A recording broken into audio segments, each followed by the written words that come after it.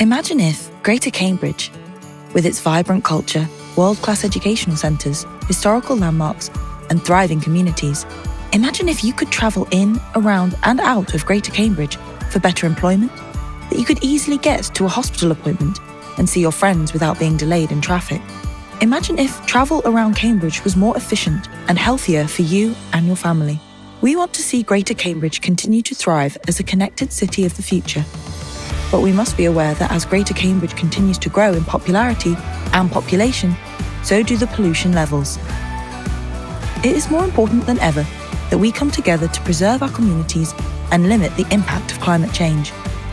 We can imagine a brighter future through proactive changes to our behaviour, our services, and our environment.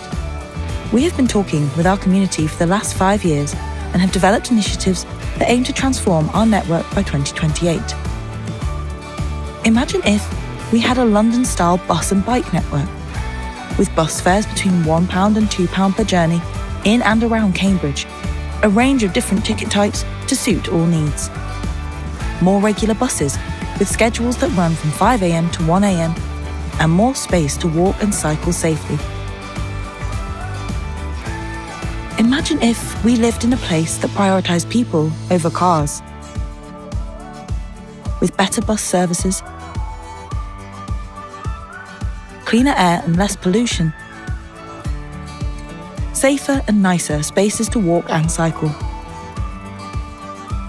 Imagine if your journey was made easier. With more connections for rural villages, buses that you can rely on, and affordable demand responsive travel options.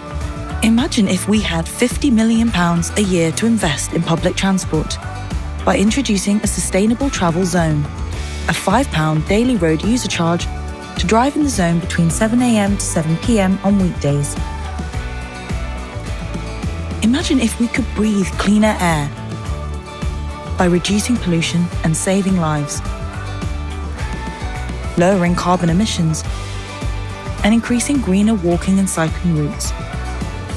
We want your feedback on improvements to bus services, cycling and walking, and introducing a sustainable travel zone in Cambridge.